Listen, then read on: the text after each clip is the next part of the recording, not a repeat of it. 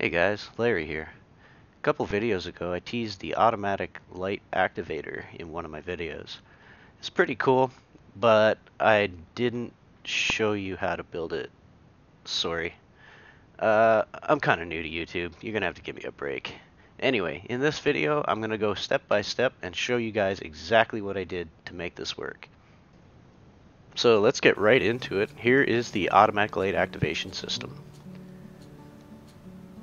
what you're going to need here is uh, a, an array of solar panels. Uh, using just one solar panel is not good because the sun doesn't always face the same direction. So you're going to need to spawn yourself in uh, four, I use four just because north, south, east, and west. And then you're going to need uh, root combiners, three of them, and you're going to need a cable tunnel. So you just place them on your roof opposite directions like so, east, and then north, and then west. So that'll give you a 360 degree coverage and you'll be able to get the most light possible out of your solar array. So then you grab three root combiners. These take two inputs and combine them into one. We'll just put the, cable trough right there for later. Uh, I'm going to show you a bug with that in a few minutes. So this is going to be your master output. This is going to take all four solar panels and combine them into one. So this is going to combine two, and then two more, and we'll just link these up. So you take your electric output, and I like to be neat. So once you get into big product projects, it gets messy. So there's your output one. Bring the other one over. That's number two. So now we've got two there. We're going to do the same thing here. One and two. Alright, so now we've got two banks of two, so now we're going to combine those into a quad. So we take the output of that one, come over here to our final output, and bring it in, oh, bring it into number one. And this one, same thing, we'll bring that into number two. So now we have a solar array that's going to give us a really good indication of whether the sun's out or not. And then we're just going to send that inside through the cable tunnel. Boom. Alright, so that's also going to give us probably 48 volts of power during the daytime, so we won't have to use our generator in the daytime. So the cable tunnel is basically uh, something to go through walls.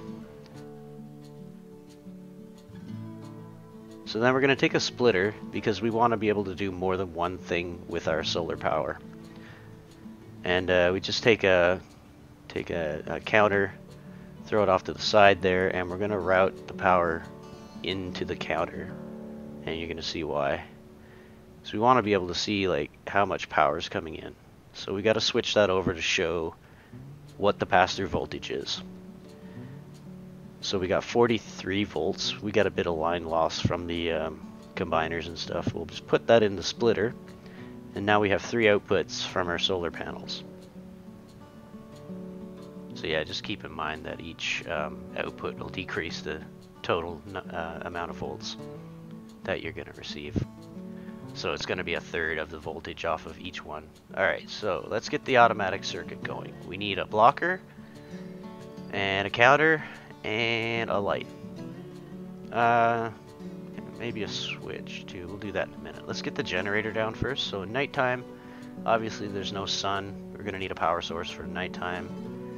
And that's what the small generator's for. Okay, so let's split the circuit in half. Let's work on the output. So the end goal here is to make the lights come on. Let's set up the lights and connect those together. Uh, yeah, okay, um, just thinking here, like, what if we don't want the lights to come on all night? Or if we want to, like, manually shut them off. Let's just put that right there. And grab a switch. So if we want to manually shut the lights off and disable the automatic circuit, we'll just have a switch. Yeah, so we'll put the output of the switch into the light, we'll take a pass through and keep it neat. And square it off, nice square lines, looks good. A neat project is a good project. Okay, so we've got that all hooked up. And we can we can enable or disable our lights and still keep the automatic function. Alright, so we're going to take uh, output from the power supply. We're going to bring it up to, uh, to the blocker here, into the power input, just like that. So now we've got power going into the blocker, and both lights are green, which means there's nothing on the blocking input. We have a little measure of our volts there, so we got 48 volts coming off the power supply, going into the switch. And we'll just turn it on, everything works. Yep, cool. Okay, so now we're going to put the automatic function in. So we're going to take an output from our solar panels,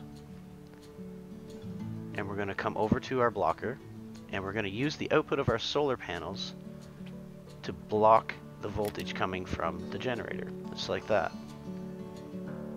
So anytime there's voltage coming out of the solar panels, it'll tell the blocker to turn off. As you can see, there's a green light on top, that means there is power there, but the red light on bottom signifies that the blocking input is uh, high. And high just means it's receiving voltage. Okay, so if we change the time to zero, you can see that the voltage off the solar panels goes away. It's a little bit delayed there. And the blocking input goes low, and the lights come on. You can disable them with the switch, but for the majority of the you know time, it's going to be automatic. Uh, when the sun comes up, the lights are going to go off, and then when the sun goes down, they will come on. So uh, let's just bring, uh, let's put a battery in here. So let's get an OR switch and a battery. So let's uh, demonstrate how we can use either power source or both power sources to power a system or charge a battery. So that's what an OR switch does. It will output power to whatever you plug into it if either of the power sources are present. So let's demonstrate right now. There's no power coming off the solar panels. Let's put that into an output input on the OR switch.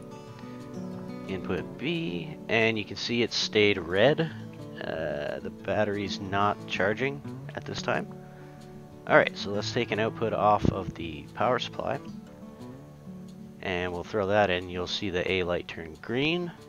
Boom. So now we've got two power sources potentially that can charge the battery. So right now it's taking power only from the generator. And when daytime comes around,